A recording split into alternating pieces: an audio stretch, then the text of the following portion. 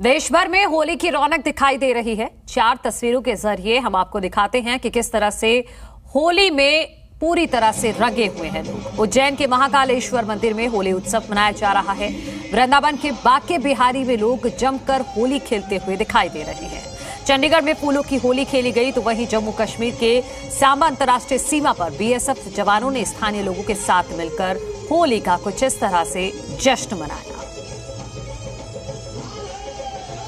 तो देश भर में किस तरह से होली की रौनक है इन चार तस्वीरों के ज़रिए आप समझ सकते हैं।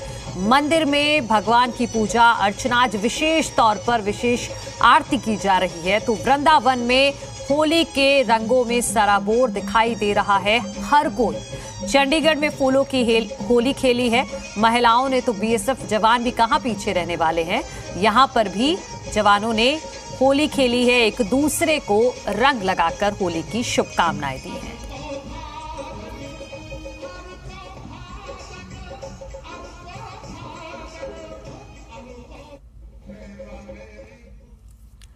अब आपको ग्राउंड ज़ीरो पर लिए चलते हैं। मेरे सहयोगी मेरे साथ जुड़ गए हैं। चरण सिंह सहरावत द्वारका से हमारे साथ हैं। कुलवंत सिंह यमुनानगर से संजय वर्मा सेंट्रल दिल्ली से हमारे साथ जुड़ गए हैं। शरद भारद्वाज पालम से हमारे साथ हैं।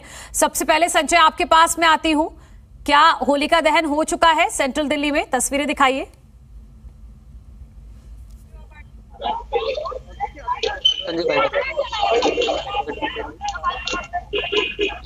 यहाँ पर आज मंगलवार है और मंगलवार की वजह से ये कहा जा रहा है कि जो होलिका दहन होगा, वो करीब 12 बजे के पास बाद ही होगा। क्योंकि कहीं ना कहीं इसको अमंगल माना जाता है कि, क्योंकि आज मंगलवार है, मंगल के दिन अमंगल ना हो, इसके लिए होलिका दहन का जो समय है, वो 12 बजे के के आसपास रखा जाए। 12 बजे के बाद ये होलिका दहन होगी। लोग इंतज़ार में है कि कब होलिका दहन हो, क्योंकि होलिका दहन के एक पुरानी परंपरा चली आ रही है, जिस तरह से हिरण्यकश्यप का जो पुत्र थे प्रहलाद उसको जलती आग बैठाया गया था और उसकी जो हुआ थी वो जल गई थी। तो उसी के लेकर होली का दहन मनाया जाता है। लेकिन फ़िलहाल अभी की बात करें तो जो यहाँ पर फ़िलहाल अभी जो होली का दहन है उसमें काफ़ी समय हमारे साथ लोग हैं सही किस तरह से होने जा रहे हैं और होली का दहन अभी होगा तो ये सर मंगलवार की वजह से जो है हमारा टाइम बारह बजे का बुधवार की उसमें जलाया जाएगा जिसको मंगलवार की वजह से रोका गया बारह बजे तक। वो बाकी जगह तो ठीक है संजय मैं आपके पास आती हूँ। थोड़ी सी आवाज़ में थोड़ी सी दिक्कत हो रही है आपकी आवाज़ हम तक क्लियर नहीं पहुँच रही है। आप इसको दुरुस्त कर लीजिए फिर मैं आपके पास आऊँगी। एक बार चरण सिंह के पास चलते हैं। चरण मैं आपके पास आपके पीछे देख पा रही हूँ कि कुछ महिलाएँ वहाँ पर इकट्ठा हुई हैं। बात करिए उनसे। क्या उत्सव है? जी जी बिल्कुल। दिल्ली के द्वारका में मौजूद है और ये महिलाएँ आप देख सकते हैं इन महिलाओं को देखकर ही आप अंदाज़ा लगा सकते हैं कि अब की बार होली का जश्न इस तरीके से मना रही है। गाना गाना शुरू कर दिया। होलिया। बदला में आज प्लावा आशा माँ तेरे ते रंग पावा। होलिया हैप्पी होली बंसी मधुर बजाया बंसी मधुर बजा जाना रंग जाना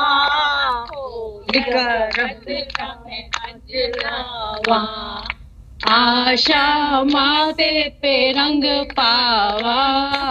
होलिया द बदला में अजलावा बिल्कुल। हम दिल्ली के द्वारका में मौजूद हैं और इस तरीके से जो महिलाएँ गाना गा रही हैं, इससे अंदाज़ा लगाया जा सकता है कि यहाँ पर जो त्योहार होते हैं, वो बिल्कुल अलग तरीके से मनाए जाते हैं। चाहे छठ पूजा की बात करें, चाहे होली की बात करें या दिवाली की बात करें।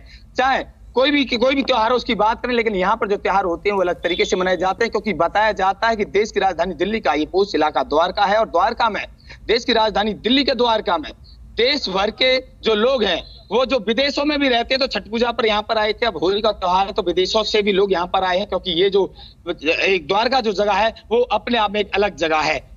आंटी, क्या कहेंगे? तरीके से आप होली मना रही हैं आप। अभी हमने देखा कि होली दहन हुआ, होली दहन में आपने डांस भी किया पूजा भी की। अलग तरीके से मैंने अभी विजुअल देखे। एक्चुअली इसको आप अलग तरीके से नहीं कहेंगे। ये होली का रिवाज है और ऐसे ही बनाई जाती रही है। हिंदुस्तान की संस्कृति है ये।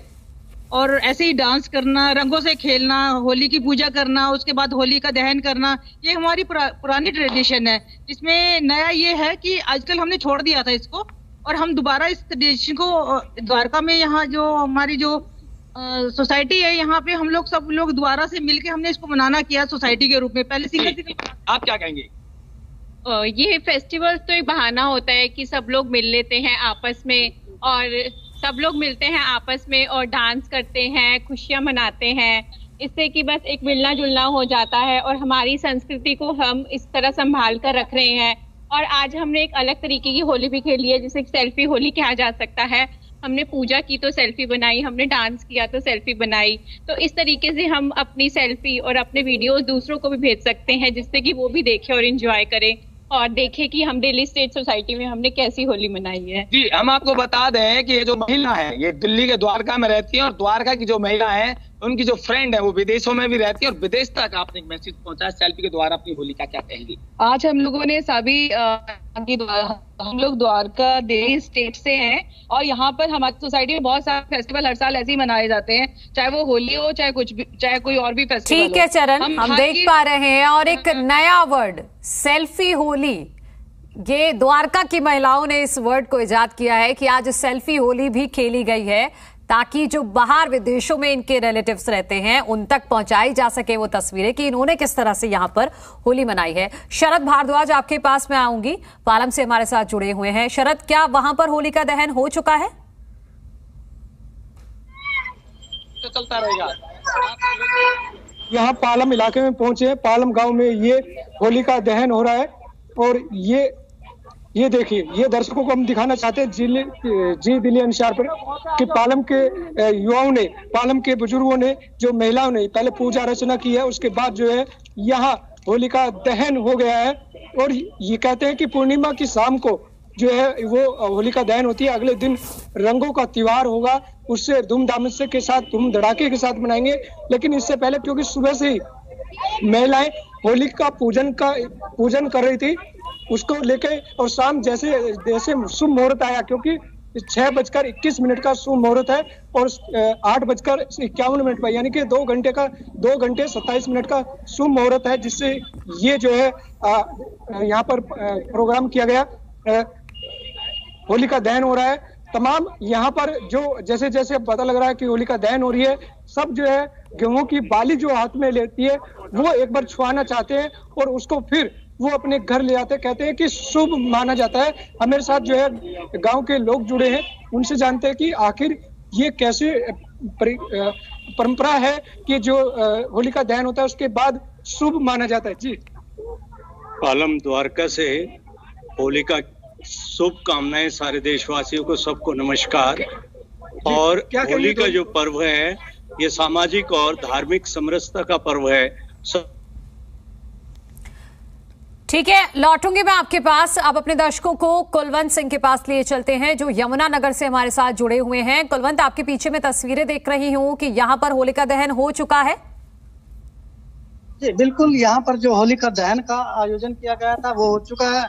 और यहाँ पर महिलाओं और पुरुषों ने जो होली का जब दहन किया, उसकी परिक्रमा की, पूजा अर्चना की, और उसके बाद ये होली दहन कर दिया गया। मेरे पीछे आप तस्वीरें देख सकते हैं कि यहाँ पर जो आसपास के जो लोग हैं वो होली का दहन के इस कार्यक्रम में पूरा आनंद ले रहे हैं।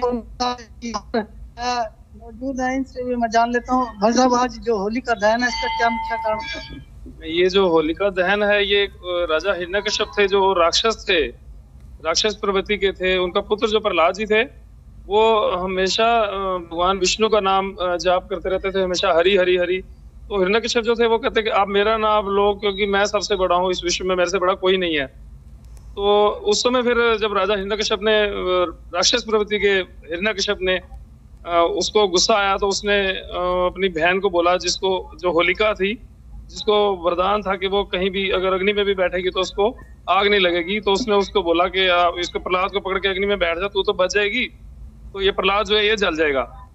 तो उसके बाद जिस समय होलिका, जब उन्होंने उसकी अग्नि के लिए वो जगह बनाई गई, और जब प्रहलाद को और होलिका ने अपनी गोद में उसको बिठाया और कुदरत की तरफ़ से ऐसा करिश्मा हुआ कि जो अग्नि थी वो होलिका को अग्नि ने पकड़ लिया और प्रहलाद जी जो थे वो उसमें बच गए। जी जैसे पीछे होलिका आप जी, हो, जी। हुई है अभी आप लोग शामिल थे इसमें क्या कहना चाहते हैं देखिए होली का पर्व एक पौराणिक मान्यताओं के अनुसार पर्व माना जाता है।